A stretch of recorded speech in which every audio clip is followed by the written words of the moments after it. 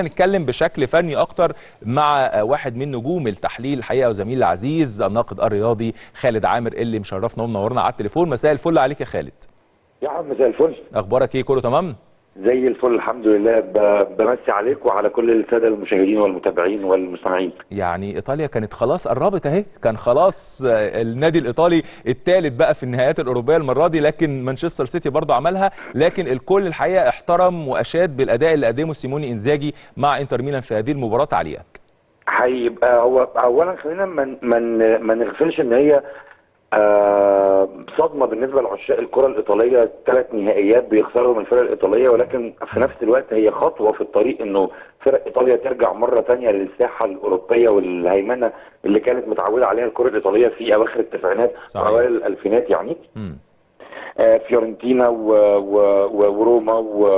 والإنتر بيخسروا ثلاث نهائيات ولكن وصولهم للمرحلة دي في حد ذاته هو لقطة كويسة لعل ال... الابرز الماتش الأبرز فيهم كان آه، ماتش الإنتر أمام مانشستر سيتي امبارح في نهائي دوري أبطال أوروبا لأنه كان الناس كلها متوقعة زي ما كنت أنت لسه بتقول آه 4 0 و5 0 والتوقعات بدأت تروح في حتة غريبة كده بس بس الانتر امبارح قدر يثبت إنه الكورة مش فقط أسماء ومش فقط آه انفاقات كبيرة ومش فقط كل الحاجات اللي إحنا بنقولها دي.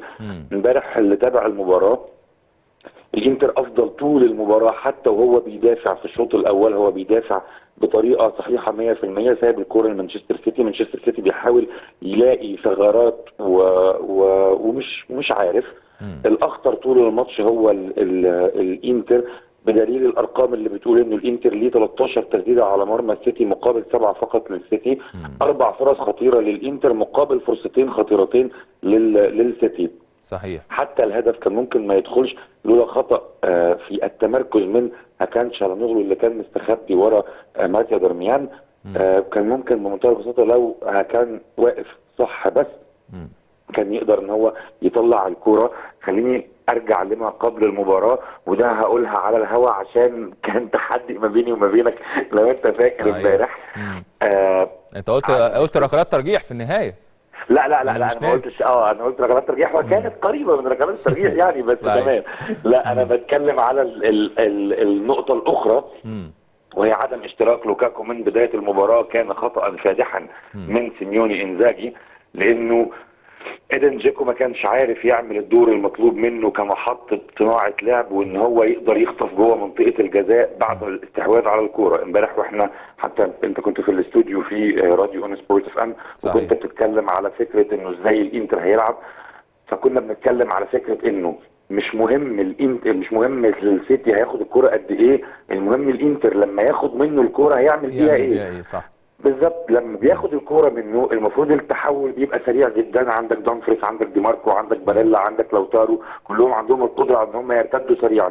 ولكن مين راس الحربه الصريح اللي لما دولت ينطلقوا هيلعبوا له الكورة؟ إيدن جيكو.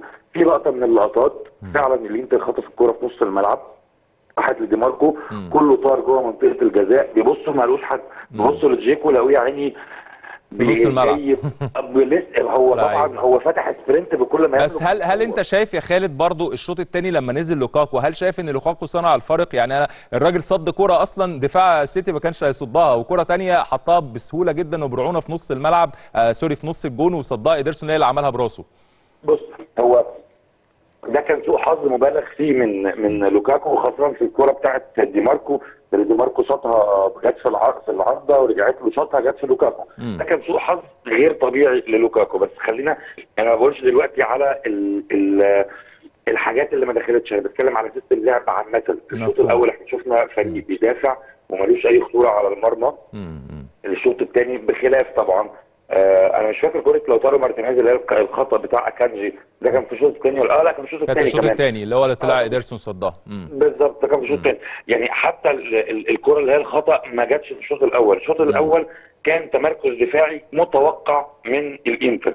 كل الكثافة الهجومية والتهديد الهجومي والتواجد في منطقة جزاء مانشستر سيتي حصلت ما بعد آه، نزول إشتراك لوكاكو في ال- المباراة أيوة، أيوة. بدلا من آدم جيكو مم. وبالتالي هو غير طريقة اللعب زق الفرقة لقدام شوية لم يكن موفقا في إحراز هدف آه، مانشستر سيتي لكن صنع الخطورة. لكن صنع. الخطورة ومانشستر سيتي كان محظوظ بشدة في ال- ال- المباراة.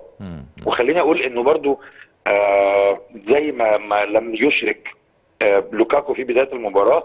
سيميوني إنزاجي على الرغم إن هو عبقرية تكتيكية وأنا بحبه جدا ولكنه أخطأ في كثير من الأمور. آه، آه، آه، سحب باستوني من الملعب وعدم سحب أتشيربي يعني المفروض العكس أنت عايز تهاجم بتسحب مدافع اسحب المدافع اللي ما بيعرفش يهاجم وساب وساب باريلا طول المباراة مع إن باريلا كان برضو نقطة ضعف أو نق- نقطة بطيئة. قوي في تحضير الهجمة يعني ومع ذلك. أبقى عليه 90 دقيقة و- و- و- وسحب كان متأخر جدا. صح صح. على الرغم إن هو كان المفروض يشترك من بدري يسحب من بدري ويشترك مكانه مختاريان طب خالد أنا عايز أسألك أسئلة سريعة. هل هو في النهاية. تتويج مستحق للسيتي ولا آه، الحظ لعب لعبته؟ لا الحظ لعب لعبته الحظ لعب لعبته تمام آه، طيب. يعني مستحق عن إجمالي الموسم مش عن المباراة في المباراة عن مجمل لعب أعماله. عن مجمل آه، أعماله عن مجمل أعماله آه. طيب الحاجة التانية هل اتحسم آه، صراع ال best أو the best يعني السنة دي وأفضل مدرب ولا لسه في الأمور أمور؟ لا لا دفنت خلاص بيب جوارديولا طيب وأحسن لاعب ليونيل ميسي مين؟ ليونيل ميسي ليونيل ميسي إيه ده برضه؟ برضه حتى بعد ما يروح إنتر ميامي؟ يعني مفيش آه، هالاند ولا في دي بروينا؟ لا لا ليونيل ميسي طب هنشوف أنا راجل معايا كأس عالم يا راجل. أيوه بس دي خلاص اتحسمت من السنة اللي فاتت دي كانت تبع أيوة، السنة ما اللي لسه في بالون فاتت دور. هتروح آه. لل Ballon d'Or. ياخدها وبعدين نبقى نفكر في best بقى. خلاص هنشوف إيه اللي هيحصل في نهاية العام. الله. بشكرك شكرا جزيلا. خالد عامر الزميل العزيز ومحللنا الرياضي.